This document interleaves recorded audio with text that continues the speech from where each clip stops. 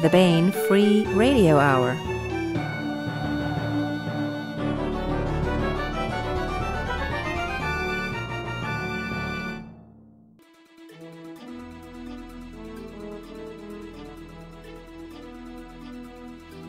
On the podcast, conventions, past and future, the promise of great stories to come, and what do we do all day? And why are we here? God knows. he really does. Plus, we continue with the complete audiobook serialization of David Drake's The Sea Without a Shore. All right now.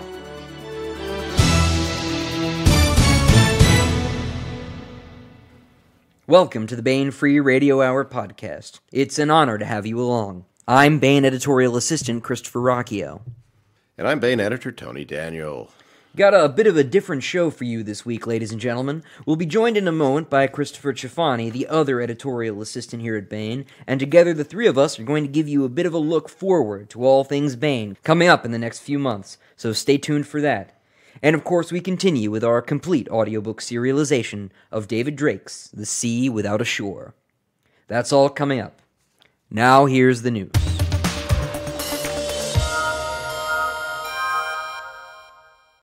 With the newsletter out over the weekend, e-arcs are in the air. What's an e-arc, you ask? Well, if you ask Tony Daniel, he might tell you that an e-arc is a strange form of prehistoric butterfly with wingspans of up to 40 feet known for feasting on tiny dinosaurs. But he'd be lying to you. There's no such thing.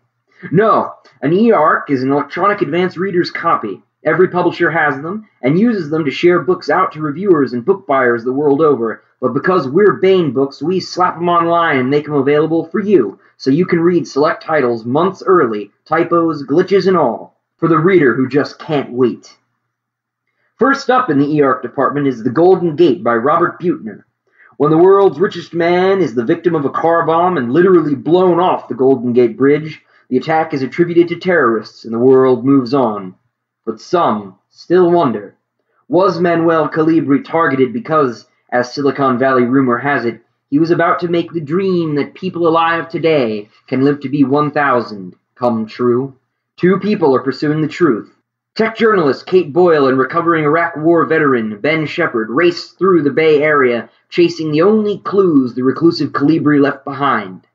They discover not only each other, but a cosmic secret that can change human history and may cost them their lives. And for fans of the Ring of Fire series, we have 1636, the Ottoman Onslaught from the man himself, Eric Flint. The long feared attack on Austria by the Ottoman Empire has begun. Armed with new weapons inspired by the time displaced Americans of Grantville, the Turks are determined to do what they were unable to do in the universe the Americans came from capture Vienna. The Ottomans have the advantage of being able to study the failings and errors of their own campaigns in a future they can now avoid.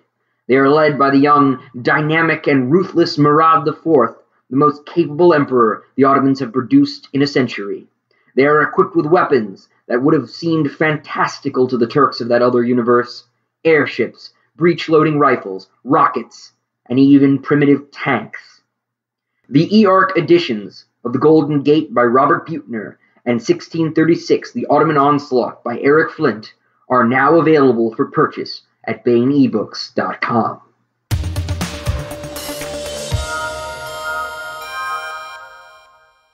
Want to welcome Christopher Ruocchio and Christopher Cifani to the podcast today. How's it going? All right, Tony, how are you?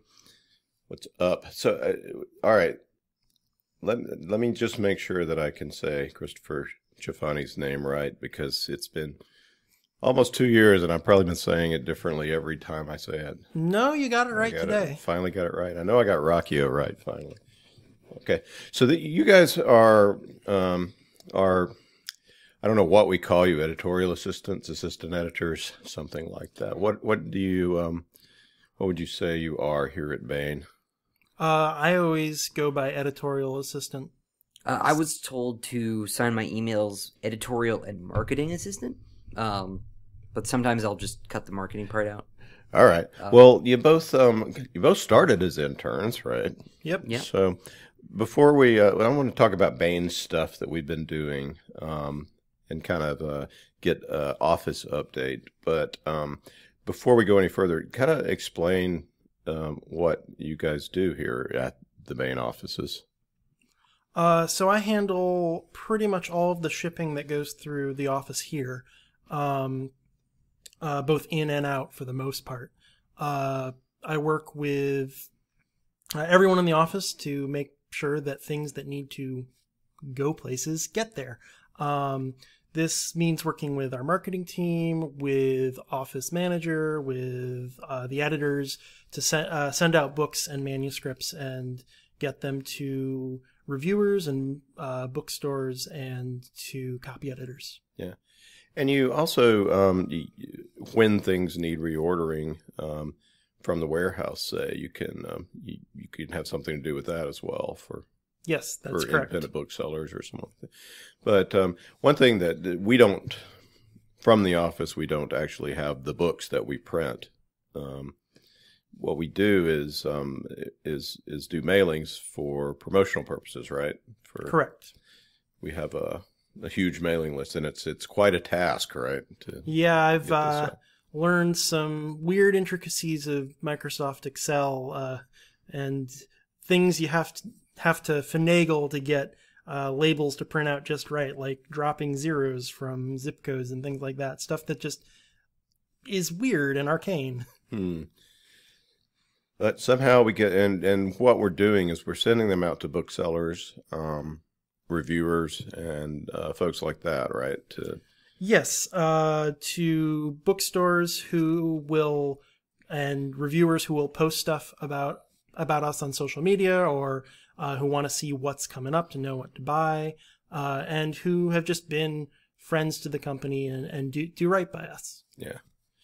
So um, that's one thing. The other thing that you do, Christopher, is um, Christopher Cifani is it's really you know we won't even go in with the doubling of names here. That's at why Baen. they call me R. That's the other thing we do. See, is um, is uh, you are um, a the the sort of arbiter, the beginning reader on the uh, Baen Fantasy Award, the Adventure Fantasy Award. Right? Yeah, it's one of the most interesting things I do, and I really love doing it. Um, it's it's fascinating to see the array of stories that that come in each year, um, and they've been getting better each year. We just uh, completed our third year this summer, uh, and it'll be opening should be opening up for submissions again in January, most likely. Uh, and I don't, I'm not involved with the other award we do, but I should mention that it is currently open for submissions, the Jim Baen Memorial Award, which is a, a near future science fiction award, and that is currently open for submissions. The Fantasy Award, which is high adventure fantasy, is uh, will will open for submissions in January. Yeah. The uh, well, at some point we're going to have a 10th anniversary um, print edition uh, in 2017 of the Jim Baen Memorial. Uh, Oh, that's cool. I didn't story know that. award coming out. Yeah, William Ledbetter, who administers the contest for us, is putting together. He's going to edit that, so that's going to be really cool. I'm pretty sure that's a fall book. We will see. Is that going to be just the first place winners, or are we going to? Uh, no, it's going to be our judgment and probably David Drake's as well of, of the best of, of the lot. So if a story was really strong, but there was a, you know, it was a strong year, um, we still will maybe print out. Um, So a couple second, third place. yeah, we're going to pick Cool. the strongest of the strong in our, our humble opinions and, and put that out. So, um, so, uh, Christopher Ruocchio, what are you doing around here? Well, my primary function is to manage our social media channels. We're on Twitter, of course, uh, at Baen Books. We're on uh, Facebook at facebook.com slash Baen Books. Uh, we're on YouTube now at youtube.com slash Baen Books Show.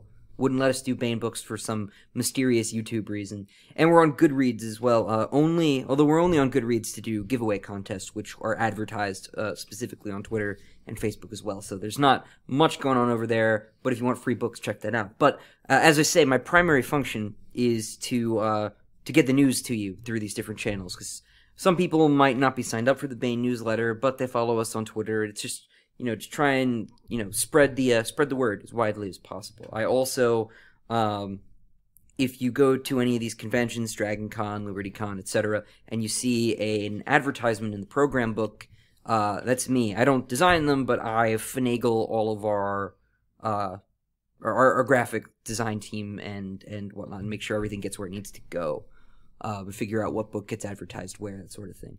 And those are the biggest things I do. I, I mean, obviously, if anyone tells me to do anything, I'll get it done. Yeah. Um, Well, the um, yeah, you're uh, you're a, a guy that we both of you are guys we Yeah. dump stuff onto. The Christophers at Baen are the ones who get the odd jobs. Yeah. Although we all do pretty odd jobs here from that from time to time. this is an odd job, period. Like, Yeah. Well, you know, crucial, but who the heck has responsibility for it kind of jobs? we have to have somebody to do it. So, um, so the as far as the ads go, which is which is where I started out with um, with well, I started as a slush reader, but beyond that, I started writing ad copy. Um, we do it a lot. This we, we we don't necessarily advertise in the same venues, but um, it's it's a process that we do the same way, right? And now um, we have uh, David Afsharirad is writing our ad copy. yeah, he does the the text for the ads, and the graphics come in from uh, either from Jason Ainspen or from uh, or from Jenny, uh, who does you know she's one of our cover designers. Jenny Faries. Yeah. Jenny Faries. Mhm. Um, there, yeah, there are a couple Jennies too, aren't there? Um, yes. we have two Jennies. Yeah, the the Baen economy of names. Yeah. Um, and so what I do is I contact the conventions and figure out what it is they require from a technical specs standpoint, how big the ad needs to be, and then I work and figure out which authors are going to be there because I also coordinate uh, to manage the events calendar that you find on the website that tells you which authors are going to be where, when they're having signings, when they're going to be at conventions.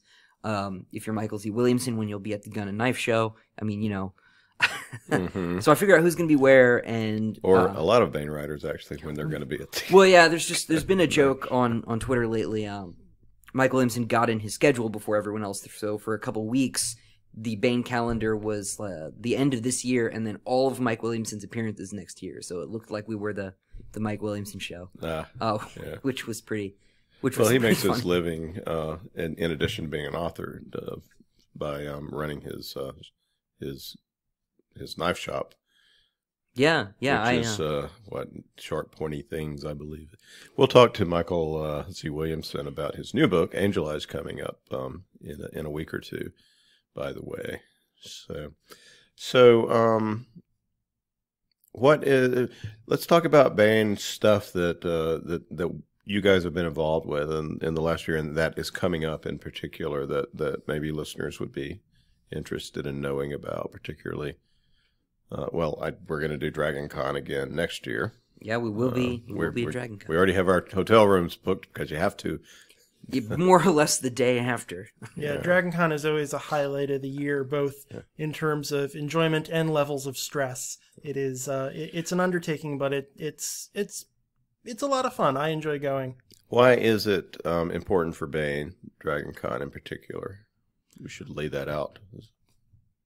Dragon Con is a fans convention, and we really love the fans. We we know that the fans are what makes Baen so great, and Dragon Con is one of the best fan conventions, and it's a great uh, Southeast convention. Um, I mean, the great Southeast convention that I've been to, certainly.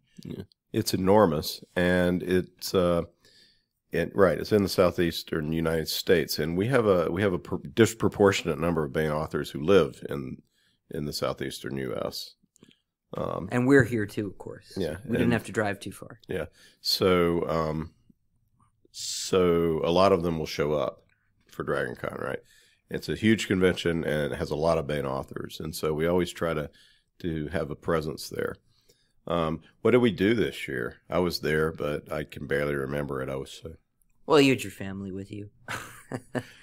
plus doing everything. Yeah, it's a bit of running around. So you were you were distracted. One of the, we always have a road show, but we also have, we have a booth um, at the, and we don't always or even often have, um, you know, because we most publishing companies are, including us, we're not retailers. We we sell through booksellers, so we don't always um, we, won't have a booth at many places. And indeed, at DragonCon, we partner with a bookseller um, who, who we like a lot uh, in order to be a face for the company, but also so that people can and actually buy the books um, through the bookseller that we work with at DragonCon.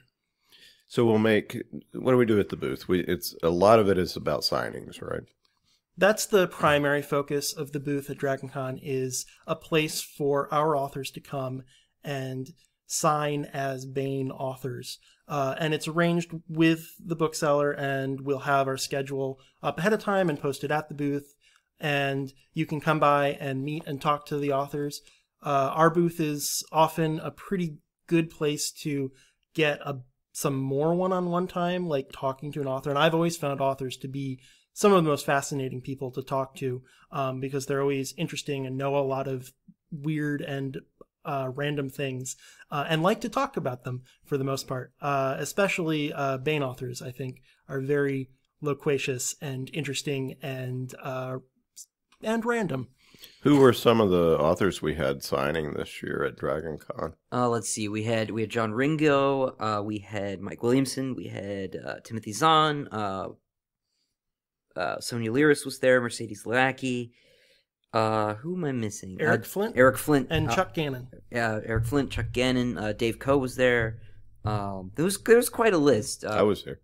also Tony was here. Yes, to- Tony Daniel, There's Who that. is a Baen author? the Dragon Hammer. Buy it. Yeah. So um, yeah, and it's fun, and and people come by and you can talk to them. Uh, additionally, this year uh, we had a sort of central attraction to our booth, uh, which was a large uh, standee, uh, like put your face in and be part of the cover cover blow up from uh, Larry Correia and John Ringo's Monster Hunter Grunge. Uh, Christopher, why don't you talk about that since you arranged having it made and all that? Yeah, it was actually the Sinners cover. Oh, um, sorry, And it will be it will be at Dragon Con again next year. That seems to be the uh, the going plan. Um, Well, the Sinners, uh, it's, it's not out yet. Right? Sinners So comes out that was- in December, I think. but we had Grunge out as uh, it, Grunge. Monster Hunter Memoirs Grunge is a collaboration between um, Larry Correia and John Ringo, set in Larry's Monster Hunter universe, which we have. You know, we've interviewed them both about on the podcast. But it's uh, it's it's something that um, it's really cool. A lot of people are were are really jazzed about these two authors coming together to write this stuff, and um, so so grunge is out monster hunter memoirs grunge and sinners is coming out we wanted to promote the whole series at dragon con um, and so we had this thing so explain what this thing is since um, it, it was very odd.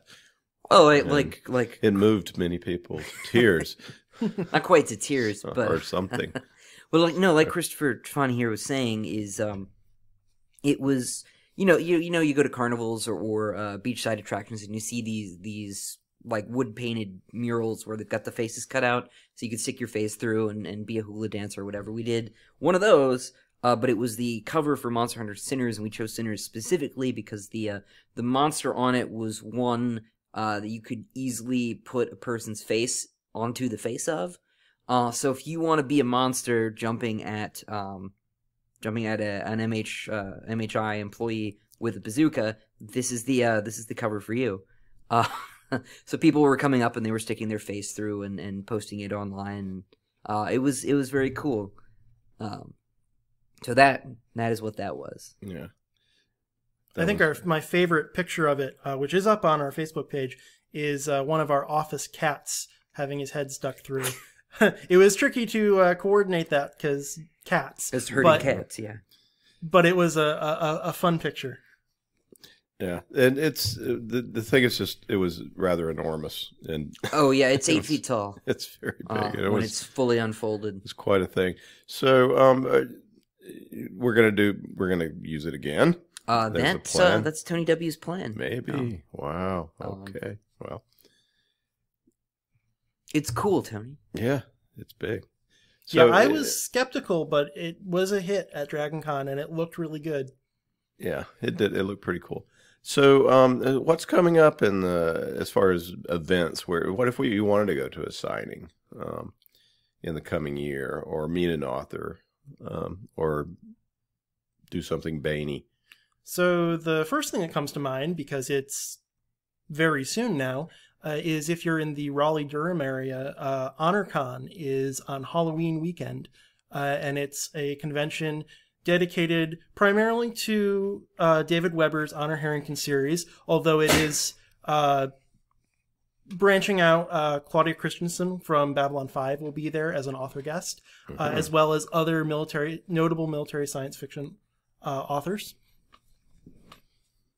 Yeah, that is that's so far it's been every year at Halloween in the Raleigh Durham area, I think so. And there's an, a sister convention that they have, right? That, In Minneapolis, I believe, Manticon. Manticon, yeah, that's uh, that's already happened this year, yeah. so it'll the, ne- the next one's a little bit. So down the road. HonorCon's coming up, which will be fun for anybody that, that loves Weber stuff, and it's an amazing uh, chance to see every kind of accurate uniform from the Royal Manticoran Navy as well. They're is- a really impressive fan group. They really know their stuff. They're really detail oriented. Their uh, uniforms look great. I mean, right off the page. Yeah, a lot of them are either military or veterans, or, or you know, and they're really good at organizing these things too. The conventions go off very well for some reason, so Yeah, which is uh, not hard to fathom actually. David Weber was at DragonCon a couple of years ago, and I was tasked as the Baen person to make sure that he had uh, a good time at DragonCon and got to where he needed to go. And it was helped immensely by um, a couple of members of the Royal Manticoran Navy fan group, um, who some of whom are involved in the organization at DragonCon, and uh, some of whom are just fans who like to be helpful, and they were enormously helpful. My job would have been much more difficult without them. Yeah, and they have real tree cats. No, no, No. they don't have real tree cats. They do have some pretty cool looking tree cap tree cat props though. That's true. Yeah. So uh, next thing that uh, what's a, what's a Baen event that's going to be? Um, well, I know one thing we're going to do is we're going to have a booth at uh, the American Library Association winter meeting in Atlanta. So um, if anybody is a librarian or goes to the ALA, um, um, institutional kind of person um, who's listening, we're going to be near the Simon Schuster booth this year, uh, which is uh, very cool. And I'll probably be there, and we'll see how I. We just found out about it, and so we don't have a whole huge amount of plans, but I'm pretty sure that that our big promo is going to be our new YA um, series by Travis Taylor and uh, Jody Lynn Nye, which is called something or another, but it's about a scientist on the moon and some kids that work with him. Moonbeam. The yeah, The the, the book is called Moonbeam. Moonbeam. I'm not sure what the overall series title is, although it has one. It's just escaping me at the moment. But it's going to and, and it's uh Moonbeam is really cool. Um, it is uh, it's about kids doing cool stuff on the moon and trying to not get hit by solar flare in the first one, um, and trying to survive and help others. Uh, so it's a it's it's middle grade, popular, uh, and the it, the kids are um, the, it's not going to be something about kids being depressed. It's going to be about kids who like science, doing cool stuff, and being uh, rising to the occasion. Um, Try to recapture some of that Age of Tomorrow optimism. yeah, yeah, and Heinlein, Juvie kind of stuff. So, um, anyway, so we're going to do that. Um, and what other big conventions do we have a presence at in 2017? Um, we'll be back at DragonCon. There's LibertyCon. which is- LibertyCon was the one I was going to say. Yeah. Um, it's not a huge convention. I think it caps out around 500 attendees, but it seems like more or less everyone who writes for Baen is always at LibertyCon, and I know a lot of you listening to this know that. Uh, but that's that's one of the big ones on the calendar. They're dragging me out to that one this year. LibertyCon is in. Uh, it's in Chattanooga. mhm. Uh, and another convention that I'll mention um, in the summer of uh, 2017, because I'm involved with our Baen Fantasy Adventure Award, uh, which we do in conjunction with Gen Con, which is uh, one of the biggest gaming conventions, maybe the biggest gaming convention in the US at least, um, for general gaming in Indianapolis, uh, Indiana. And we do it in conjunction with their writer symposium. They've been growing their writer writing track and their uh, I th- actually think the writer symposium is its own atta- attached to the convention, but its own thing, really promoting uh, growing writers and and liter and literary awareness. And we're really pleased to be partnered with them on that. Yeah, that's cool. Gen Con is in what city? Uh, Indiana, Indianapolis, Indiana. Yeah, and it's generally end of July, early August. Yeah, that that sounds right. Yeah, so that'll be happening. So one thing, uh, the Jim Day Memorial Award is given at the International Space Development Conference every year, um, and one of the main editors will usually be there to present it at, at a banquet. And uh, those things are really cool. They're just full of um, space scientists. Um, usually, you can see, you know, Elon Musk wandering around, that kind of thing. Have you met Elon Musk? Time out. No, but I've seen him. Ah, Um, he looks kind of like a like a, a nerdy version of Christopher Walken to me. so ah, he's so cool though. yeah, um, Yeah, you went last year. Where was it this year? yeah, it was this in year? Puerto Rico, which was really cool. Went to Puerto Rico. Yeah, they let Um, Tony go on all the cool trips. I've been to the one in uh, I've been to the one in um, Toronto and somewhere else, uh, Washington D.C. Usually we alternate me and Tony and uh, Tony Weisskopf and Jim Minz uh, because they're usually in pretty cool places. Um, and Toronto was even literally cool. So, or was yeah, it was in Toronto. It'd be a relief in the middle of the summer. Yeah. Yeah.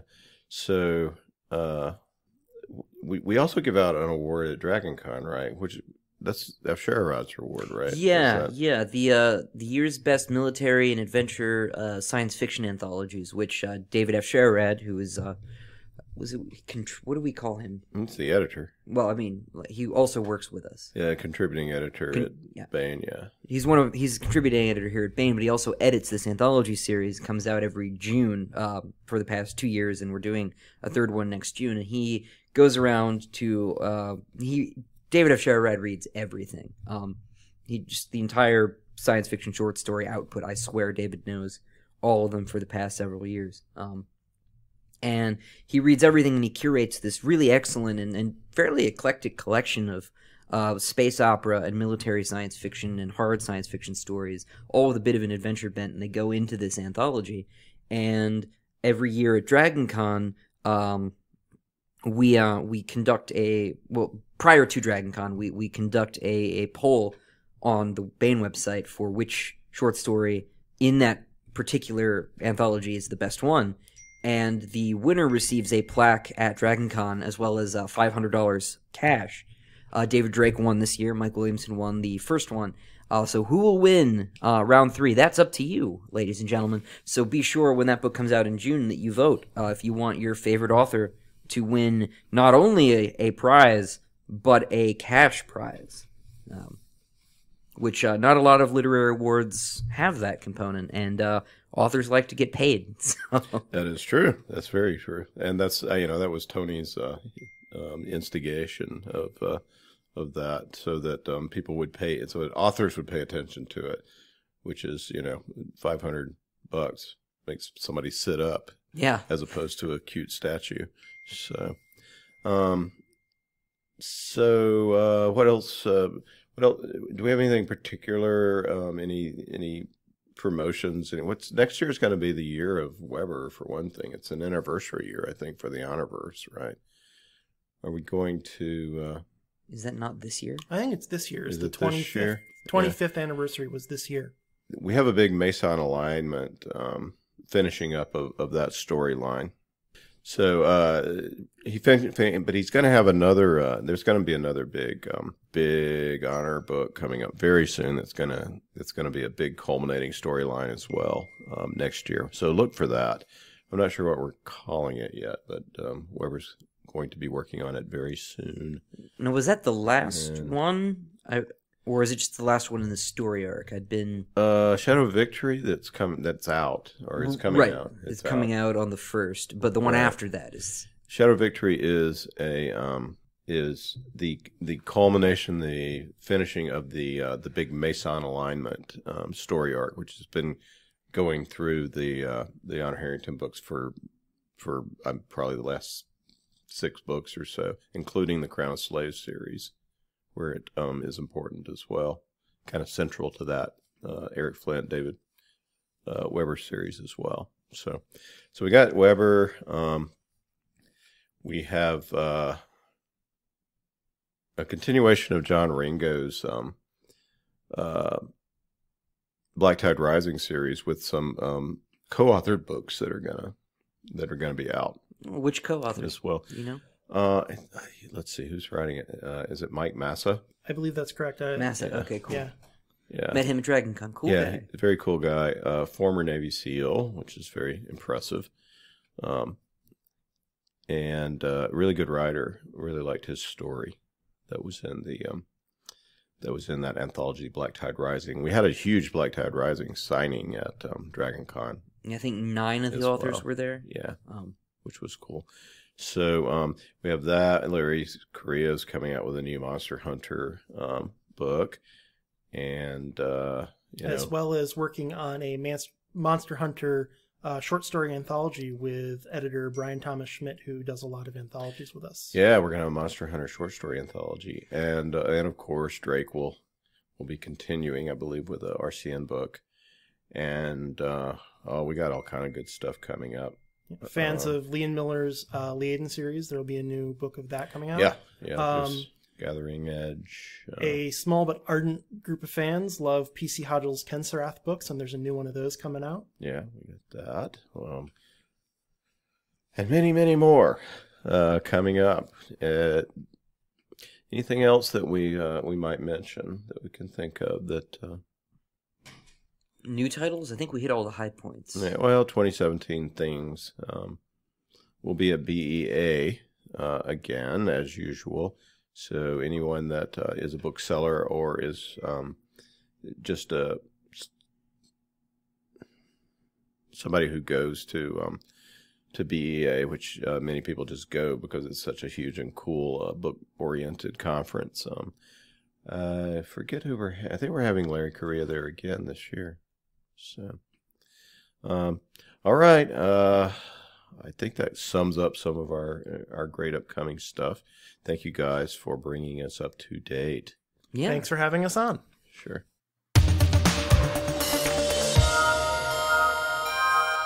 Now we continue with our complete audiobook serialization of David Drake's The Sea Without a Shore. It seems Cinnabar's chief spy master is a mother also, and her son is determined to search for treasure in the midst of a civil war.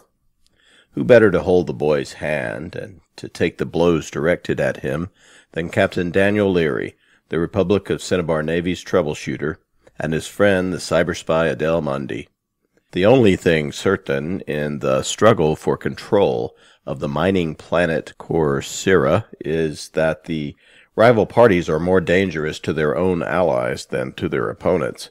Daniel and Adele face kidnappers, pirates, and a death squad even before they can get to the real business of ending the war on Corcyra and bringing their charge home, maybe along with ancient alien treasure. Now here is the next entry of David Drake's The Sea Without a Shore. A dozen men and two or three women relaxed in chairs on the manor's wide veranda as Daniel mounted the three broad steps up from the plaza. Several men and one of the women wore uniforms, but the only person to acknowledge Daniel was an older man in a rumpled jacket and a saucer hat which had seen better days. He nodded, and Daniel nodded back. A merchant skipper greeting a fellow. Like was calling to like. Naval officers weren't the only collegial group, although Daniel had come to feel that way during his years in the RCN. Daniel smiled. Groups were not only inclusive, they were exclusive if you let them be. I'll make an effort not to let that happen to me in the future. The double doors were open, so he walked through into the lobby. There were chairs of several different styles, mostly wood, but a number of plastic extrusions, and at least one steel unit that had come from a starship and was bolted to the floor as if it were still on a ship. There were spacers who weren't comfortable sitting on something that wasn't really solid. Right, called the man standing behind a long waist-high table. A computer sat on one end of the table, but he was sorting through a tray of hard copy beside it. Need a room? I'm looking for the harbor master, Daniel said. I haven't decided about a room yet. Suit yourself, the clerk said equably. He pointed through the archway to his left and said, Turn to starboard and go down to the end of the corridor. All the town offices are on that end of this floor. He grinned and added, Don't be surprised if nobody's in the office. Sometimes David's chatting with Tommy in the customs office, though. The lobby ceiling was over 20 feet high. The round windows in the top range allowed enough light to read by at this time of day. The lobby was pleasantly cooler than the air outside had been, though the doors were open. Area lights hung in clusters from the ceiling, but the cans into which they'd been installed were brass and appeared to have been hand pieced in the distant past. It looks like a nice enough place, Hogg said as they started down the hall beyond the archway. To tell the truth, I'm feeling overdressed. He patted the barrel of his submachine gun with the fingers of his left hand. He was the only openly armed person that they'd seen in the building. Nobody's complaining, Hogg, Daniel said and I'm certainly not. The last door on the right-hand side was open, but the office was empty. Daniel turned, wondering which office was Customs and whether it was even on this corridor. A man was hurrying toward them from one of the rooms they had passed, making an effort to button his blue jacket. You're the guys with the arms shipment? The fellow said. I'm Callett, the harbor master. Go into the office, will you, and tell me. He followed Daniel and Hogg into the office and slipped between them to the workstation on the desk. Who's your sponsor? I didn't get that from your transmission. Sponsor, Daniel said. Polarizing blinds turned the room's two windows a startling red, but the light passing through them was neutral. I'm the Kaisha's owner, if that's what you mean. No, no, Callett said. He typed with his index fingers alone, scowling in determination. I mean, which party are you delivering to? Oh, said Daniel. He hadn't sat on either of the rickety chairs facing the desk. He wasn't sure they would hold him. The transformationists. Callett stopped typing and stared at Daniel. Them? he said. Why, you got enough guns for a division aboard. What are those dreamers going to do with a load like that? Daniel shrugged. That's not my problem, he said. They were loaded free on board on Cinnabar, and I'm delivering them to the consignee here. My purser's talking with the local agent now. The Kaisha carried a thousand carbines and ten automatic impellers, enough small arms to equip an understrength regiment, perhaps, but not a division of any civilized planet. Daniel smiled at the thought. Look, I'm not sure I can clear this, Callett said. He grubbed a bandana from the side pocket of his jacket and wiped the sudden sweat from his forehead. There's going to be trouble, I know it. Daniel rested his knuckles on the desk and leaned onto them. There won't be any trouble with me if you do your job, he said, hearing his voice roughen. I, Callett said. Master, Hogg said, moving slightly to put his back against the side wall. A group of people crowded into the doorway, blocking one another's passage and snarling. First to enter was the woman wearing a gray business suit that wasn't quite a uniform. The two men, who did wear uniforms, had shoved one another apart and she slipped through. The men followed instantly, more armed men crowded the hall, but they halted at the doorway. Hockner, the woman said. She was tall and wore her hair as a tight sheath for her skull. She'd been a brunette, but had let her hair go mostly gray instead of dyeing it. You know the rules. No thugs in the manor. Do you want to be the moron who made the garrison outlaws to everybody on the planet? Do you want to explain to Murciello what you've done? The bulky man with red hair and a shaggy beard wore what seemed to be garrison utilities with a great deal of gold braid at it. Though he clenched a fist at his side, he turned to the doorway and said, Billy, take the company outside. I don't need you here. I'm Eugenia Tibbs, administrator of the Self Defense Regiment, the woman said briskly to Daniel. I'm here to purchase your cargo. The Corcyra Navy will better any other offer you get here, said the other man, tall and very dapper, with thin, curling mustaches and a pointed goatee. I'm Captain Simona, and I can transfer the credits to you before we leave this room. I have precedence, Simona, Tibbs said, turning quickly back to Daniel. She said in an attempt to be jolly. I assure you that the regiment is by far the best funded and most trustworthy organization on Corcyra. Now look here, Simona said. Now both of you pissants shut up, Hockner said. His shoulder boards bore the two solid squares of a captain in the Alliance Army. The garrison had been enrolled in Alliance service and probably used the same insignia. In fact, Hockner said, backing to put himself between Daniel and the faction leaders whom he was facing. Why don't you both get your asses out of here? The garrison's the only real power here on Corcyra, however much you lots swank around with your Pantellarian accents. Excuse me, sir, Daniel said. He tapped Hockner's right shoulder. You're crowding me. Hockner slapped at Daniel's hand without turning around. Then move back, he said, while both exile leaders gabbled at him in rising voices. The harbor master, Callet, had moved into the corner behind his desk. He watched the verbal brawl with a miserable expression. Daniel grabbed Hockner's right wrist with his left hand and bent it up behind his back. Hockner roared and spun to his right. Daniel punched the bigger man in the pit of the stomach. Hockner gasped. Because he was already off balance, he fell forward onto his knees.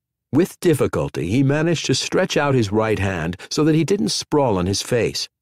Want me to put the boot in, master? Hogg said hopefully. I don't think that will be necessary, Hogg, said Daniel.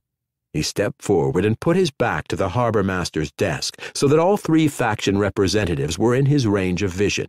Callet was certainly not a threat. I appreciate that you all find this matter to be important. Daniel said calmly. But you're dealing with the wrong party. My cargo belongs to the consignee, the transformationist community. You need to deal with them. What's he doing? said Mistress Tibbs, glancing to Daniel's side. His eyes followed hers. Hogg snicked open the blade of his knife and bent over Hockner. Daniel frowned, though he didn't object aloud. He didn't remember Hogg exceeding what he thought his master would consider reasonable, or at least would consider on the edge of reasonable. Hogg used his right little finger to jerk slack in Hockner's gun belt, then sliced through the leather. He pulled up the portion containing the holstered pistol, then straightened, closed the knife, and dropped it into a baggy pocket. I'm just looking ahead, lady, Hogg said. Like a peasant learns to do, you know, and. His tone hadn't been friendly before. Now it rasped like a crosscut saw. I'm a freeborn citizen of Cinnabar, not a thug and I'm good enough for this manor or any bloody place on Corcyra, got it? Forgive my question, citizen, Tibbs said. There was laughter in her eyes, if not quite in her words. I assure you, I didn't believe that your master needed thugs to protect him from such as Captain Hockner. We'll go now, I think, Daniel said. He turned his head toward the harbor master. Master Callet, I will take it that I fulfilled my obligations to the port authorities. If there's some additional form to sign or the like, please bring it to the Kaisha, and I'll see that it's taken care of. He nodded to Tibbs, then Simona. Mistress, he said. Captain? I don't believe we have any business to transact, but you can find me on my ship if there is. Hogg dropped the holster on the floor and thrust the pistol under his belt. It was a standard Alliance service weapon, much like the RCN equivalent which Daniel wore when formality required him to. Daniel was quite a good shot with long arms, but he didn't like handguns. I'll call on you shortly, Captain, Simona said brightly as Daniel walked past. And I, said Administrator Tibbs. Daniel and Hogg walked through the lobby at the same businesslike pace as when they had entered. The desk clerk called. Decided on a room? I'm going to look up an old girlfriend first, Daniel said. I may be back. He'd thought of taking a room to camouflage his intentions. He certainly wasn't going to sleep away from his command after that meeting, but he decided he wanted to get back to the ship as quickly as possible. Under other circumstances, the manor might have been a pleasant change from the cramped quarters of a tramp freighter, but the center of brotherhood was a bomb ready for a spark. The civilians had no choice but to stay. But Daniel did, and he was exercising it. Thirty or forty garrison soldiers stood or sat on the veranda. They looked ill at ease, but not hostile, rather like a pack of dogs milling in an unfamiliar environment. Daniel nodded bare acknowledgement to the squat fellow with sergeant major bars, but he stepped past briskly to avoid a chance of conversation. The civilians had moved on. Hogg had kept his face front to avoid eye contact, which in his case might have meant a challenge. Hogg could look like a simple rustic, but he didn't have Daniel's skill at projecting friendly confidence when he was expecting everything to blow up in an instant. Think we're going to have to shoot our way out of this? Hogg said as they crossed the plaza at a quicker pace than they'd kept when they approached. I don't think so, no, Daniel said. But I'll admit that I've been wishing I'd spent more time on pistol practice when I had the leisure. I'll give you this, Hogg said, patting the submachine gun's barrel with his left hand, the hand that wasn't on the grip. Hockner's piece ought to do all right for me. They started down the slope toward the harbor. The Kaisha's plasma cannon seemed to be locked, it probably wasn't, straight ahead, because anything else would arouse comment. In the cross trees of the raised mast was a crewman with a long canvas wrapped bundle, almost certainly a stocked impeller. Without using his goggles magnification, Daniel couldn't identify the spacer, but from his size he was probably Barnes, which meant Sun was at the controls of the plasma cannon. I hope we're being unreasonably concerned, Daniel said. If we're not, though, I couldn't ask for better people around us than we've got. Hogg grunted. After a moment, he said, I hope the mistress is aboard when we get there. I figure we're going to need some magic on this one, and I don't know a better magician than her. Chapter 13 Brotherhood on Corcyra There'll be guards at the front entrance, Tovera said, eyeing the side of the building as they walked along Ridge Road toward the plaza. It wouldn't be any trick to get in through one of those windows, and there's a door in the alley that looks like it's into the basement. There may not have been anybody down there in fifty years. There's no reason they shouldn't allow access by an off-planet scholar, Tovera, Adele said. I want real access to the collections, not a peek and escaping in a hail of gunfire. If simply asking doesn't get us in, I'll consider other methods. The five ground floor windows along this side were grated. Though the wrought iron bars looked sturdy, over the centuries the bolts fastening them to the wall had wept long trails of rust down the pale limestone. A pry bar would pop the gratings off, likely enough, and the two upper ranges of windows didn't have even that much protection. A squad of garrison soldiers had built a shelter by stretching a tarpaulin between the palace front and two of the trees protected by ancient stone curbs along this edge of the plaza. The troops had moved chairs and couches into the shade and were cooking on a grill which generated power from a fuel cell. It was enameled field gray and was probably military issue. None of the soldiers was female, but half a dozen civilian women ate and drank with the guards. Another soldier sat in the recessed doorway, he was either asleep or so close to it that Adele could have stepped around his legs and entered unchallenged if she had wished to. Excuse me, my good man, she said primly. The doorway was arched. The wooden panel, which was still closed, was carved with half a complex coat of arms. I'm here to view the Gulkender Library. Will you direct me, please? Was that? said the soldier, jerking alert. He straightened, banging his head against the stone. The carbine slipped off his lap and the steel butt plate clattered on the pavement. He grabbed for his weapon. Adele flinched internally, though if the carbine had gone off, the slug would have taken the soldier in the belly without endangering her or Tovera. The indicator on the weapons receiver showed that there was a loaded magazine in place, which wasn't always a certainty with troops of this quality. How do I go about viewing the Gulkender library, please? Adele repeated calmly. So far as she could tell, the other guards were ignoring what was going on in the doorway. Tovera kept an eye on them, however, while smiling in bland innocence. Ma'am? The soldier repeated, blinking at her. Ma'am, you better ask the LT. Lieutenant Pastis, I mean.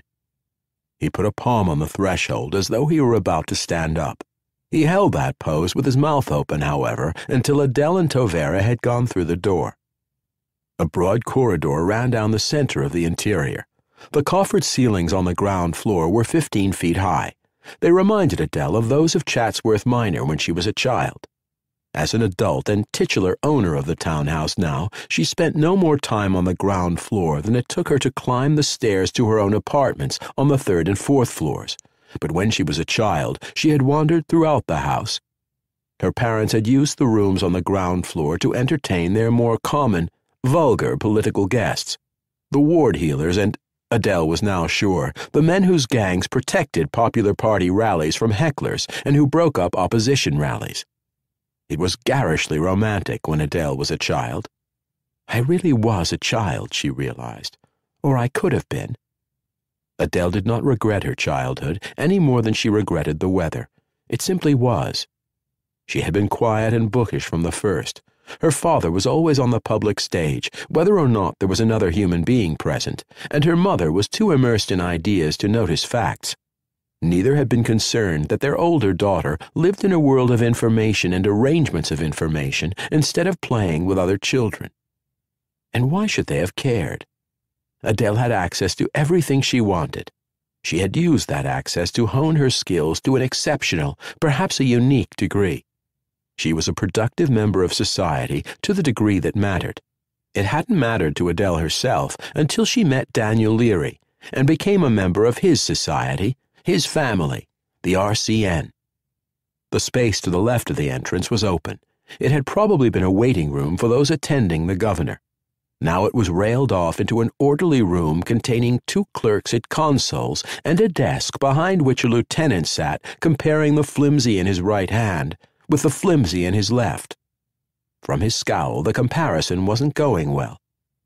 Excuse me, Adele said, sharply enough to get anybody's attention.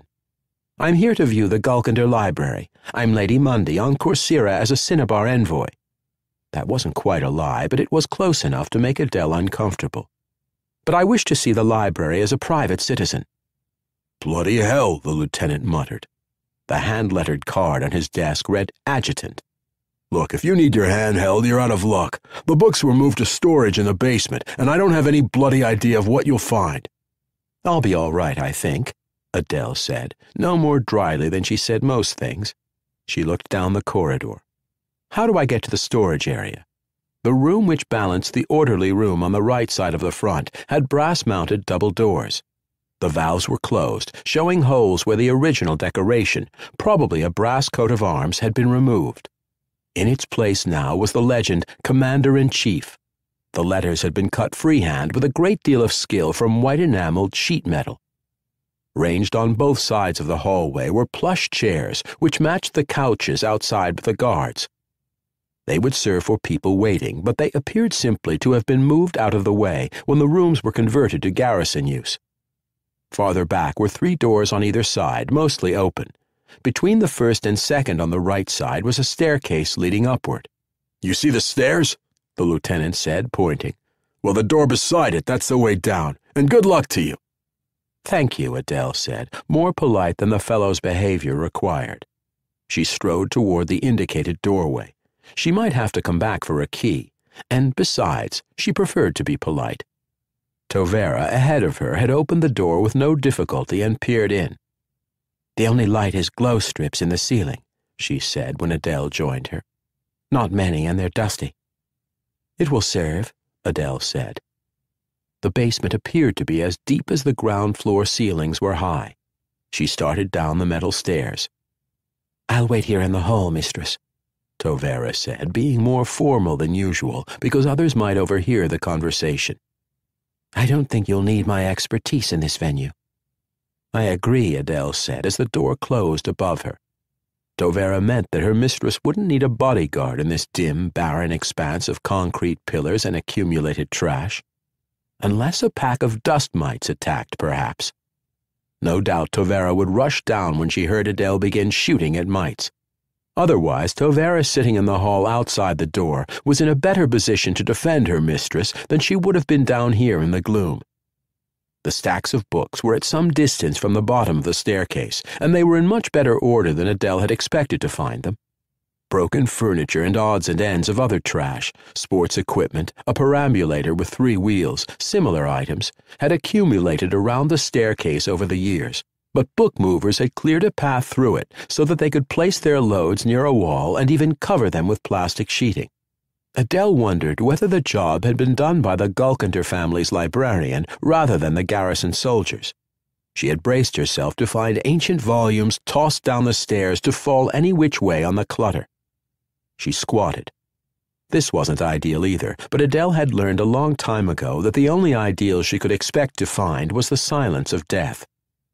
She smiled wryly, and if the many religious believers were correct, she might not have even that to look forward to. Adele removed a layer of sheeting from a stack at random and began a preliminary assessment of the books. Her personal data unit had an external light, but rather than use it, she let the unit scan and record the spines through various sensors and project the result on its holographic display. Adele watched and was dumbfounded. Antique books could have meant anything. Brother Graves was an educated man, but he wasn't a bibliophile, and he had probably not seen the collection personally. This could have been a gathering of genealogical records from Yerevan or wherever the Gulkender family came from originally. These books were pre hiatus. At least some of these books were printed on Earth before Starflight. These books were sitting in a dusty cellar among trash. The Gulkender descendants couldn't have known what they were worth let alone appreciate what they were, or they would have sold them generations ago, and certainly no other person on Corcyra understood now. That was unfair. The librarian must have had an inkling to have taken as much care as he had, while doubtless under pressure from Philistines with guns to move faster. Perhaps Adele would be able to find the fellow after things had settled down here. Adele wasn't sure how long she had remained, lost in a wonderful garden, before Tovera had moved her hand through the holographic screen and said, Mistress, we have to move. Murciello's bodyguard is going to capture the Kaisha. There's been no electronic signal, so whoever's on communications watch wasn't able to warn Six. Adele came out of her brief visit to paradise. Explain, she said. She set down her data unit and carefully closed the book on top of the stack, a volume of Chaucer published by the Kelmscott Press. She wondered if she would think first of the book if someone appeared in the doorway and began shooting down at them. I probably would. Tovera could deal with the attacker. Captain Hockner, commander of Murciello's bodyguard company, came in shouting, Tovera said. He'd tried to push Six around and hadn't been pleased. Her tone was as dry as a salt desert, but nonetheless, Adele could feel the amusement and pride underlying the words, with the result he told Murciello they had to seize the cargo. He'd take his company and pick up the company already at the harbor before anybody had time to react. The adjutant started arguing with him, and Murciello couldn't understand what the fuss was. Adele put the volume back on top of the stack where she had found it, then dragged the plastic film back over the books. Perhaps she could come back and properly curate this splendid collection, but that would require that she survive the next few minutes. They were all shouting at the top of their lungs, Tovera said, so I could follow what was going on. I was afraid that I'd call attention to myself if I got up to warn you before Hockner and his troops went out. I want to say that the gunfire would have warned you, but as focused as you get, I'm not sure that would have worked. Yes, said Adele. We won't be able to reach the ship ahead of the troops ourselves, so I'll sound a warning and we'll attempt to conceal ourselves until matters sort themselves out. Hide here in the basement, Tovera said. Her tone was neutral, but she was certainly intelligent enough to doubt that it was a good idea. No, said Adele. Find the alley door that we saw coming past and open it while I warn the others. Opening the door might be a matter of turning the latch, or alternatively, it might mean blowing the panel off with beads of plastic explosive. Tovera would choose the method which seemed best to her, and Adele would live with that choice. She was quite sure the door would be opened. Signals to ship, Adele said. Her data unit was coupled to one of the consoles in the orderly room above. From there, the heavy flex she had seen running into a hole hacked in the molded ceiling would carry her to the transmitter and to the antenna on the roof. Emergency. Garrison troops, two companies at the start, are about to seize the ship and her cargo. The other factions aren't involved at this time. She took a deep breath. She must next explain her own plans, which meant she had to formulate them. Tovera and I will make our way to the harbor, but we won't attempt to board the ship at this time, she said. We will proceed as circumstances dictate. Oh, and in two minutes, the garrison transmitter will begin jamming all short and medium wave frequencies. Signals out. Adele gave the garrison console a further set of instructions with quick movements of her wands. She stood, slipping the data unit into its pocket. The door's open, Tovera said. She gripped her small submachine gun openly in her right hand. The attache case in which she normally concealed it was in her left, still holding equipment of occasional use. The submachine gun was of frequent use. Adele drew her own pistol. We'll head for the harbor quietly, she said. Not to Graves' office, Tovera said as she led Adele between concrete pillars to where she'd located the door. I don't want to involve Brother Graves in this business, Adele said. And apart from that courtesy, she thought Graves would be a hindrance in the firefight, which seemed likely to break out at any moment. That was another segment from our complete audiobook serialization of David Drake's The Sea Without a Shore. Thanks to Audible.com and to podcast theme composer Ruth Judkowitz. And a pile of proofreading work and media mailings, along with hours of answering the phone for the two Baen Christophers, Cifani and Ruocchio, who really should get back to work now. Please join us next time here at the hammering heart of science fiction and fantasy, and keep reaching for the stars.